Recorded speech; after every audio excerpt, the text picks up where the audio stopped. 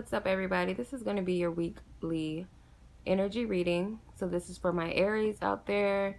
Whether you're an Aries sun, moon, rising, whether you have Aries somewhere in your chart or an abundance of Aries in your chart, you may resonate with this reading.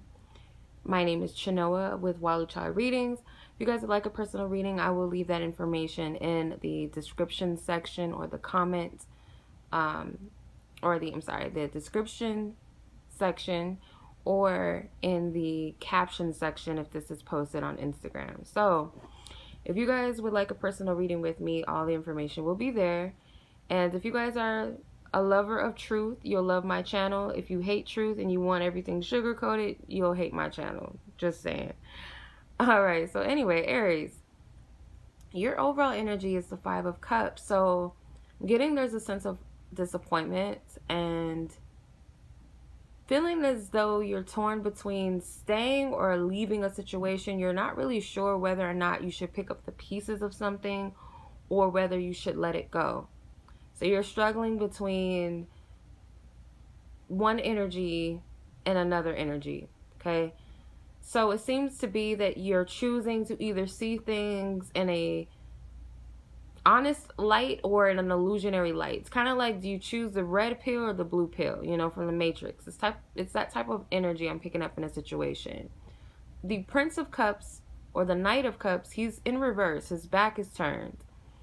So I'm getting that Spirit may be telling you to turn your back away from something that just isn't moving forward. It may have never, you know, it might be something that's slow moving. Know the difference between having patience or the difference between wasting your energy on something or someone.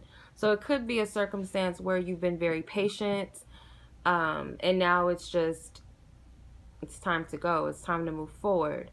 With the Sun card, you need to focus on the positives, I feel Spirit is saying, to focus on the positives of this situation and not waste too much energy on what was or what isn't or what could have been. Um, I do feel like you're not going to get the justice that you deserve or will receive by dwelling in a certain energy and hanging on to something that does not serve you emotionally nor spiritually. It's causing you a lack of peace, I feel. So, whatever that is for you, Aries, I do pray and hope and send much love to you that this is a situation you walk away from so that you can have your inner peace back.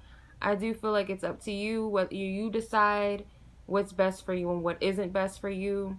Tarot readings are here just to give you, you know, shed light on something and give you advice, but it's never there to be a concrete decision as far as your life goes. It's initially, you know, or not initially, but ultimately, it is up to you what decisions you make in life. Okay, so these are just tools to help you navigate through energies. But I do hope that this reading resonated with someone. If it does, if you would like a full and in depth reading, hit me up. If it doesn't resonate, that's too bad. Hopefully, the next one will, or maybe I'm just not the reader for you. But much love as always. Take care. Peace.